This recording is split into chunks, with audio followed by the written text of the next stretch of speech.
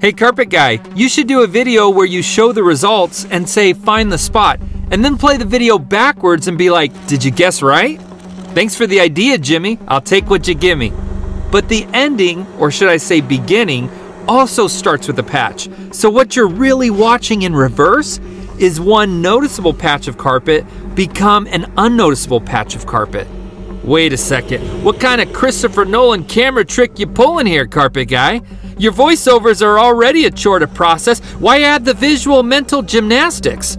I just want to relax and watch something satisfying, not solve a riddle. It's all actually quite simple, my wonderfully patient and resilient viewer. My customer had tried a half dozen attempts fixing an iron burn before giving up and calling me to fix it.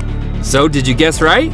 And how many times did you have to watch this before it all made sense? Or was this video not in reverse and I just cut up someone's carpet a bunch of times?